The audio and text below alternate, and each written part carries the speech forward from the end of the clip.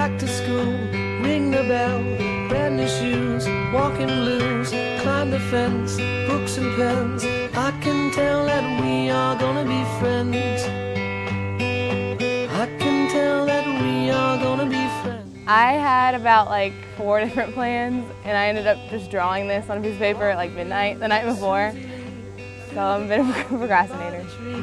We will rest upon the ground and look at all the bugs we found. Safely walk to school without a sound.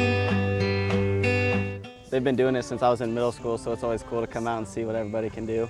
You can really show your individuality and everybody has a good time doing it, so it's a fun time.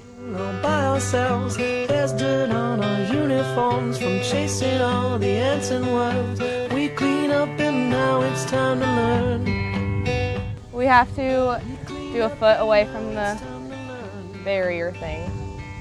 And yeah, and another thing is you can't put anything inappropriate because they'll paint over you. Numbers, letters, learn to spell, nouns and books and show and tell.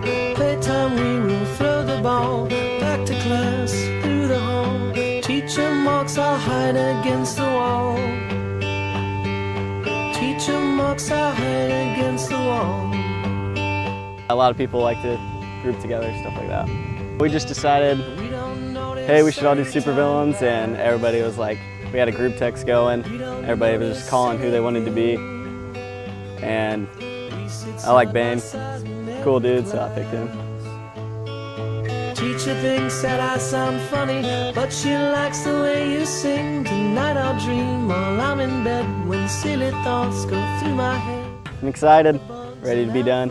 Uh, go to college, don't know what for yet though.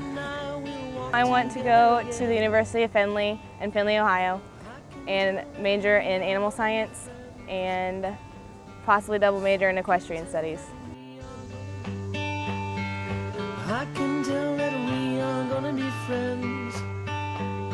Yes, I can tell that we are gonna be friends. My favorite part is looking at them when they're all done. That's really cool.